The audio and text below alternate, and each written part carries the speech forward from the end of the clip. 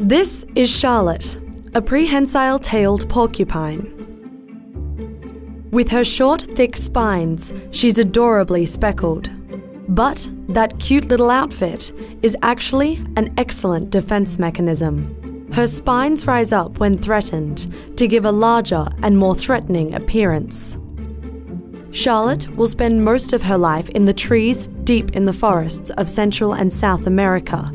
She feeds on bark, leaves, fruits, and roots. Her feet have long curved claws, making her an adept climber.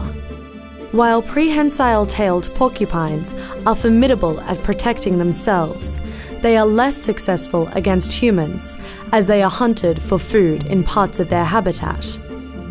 That, along with a diminishing territory, have left their population in flux. This is the prehensile tailed porcupine.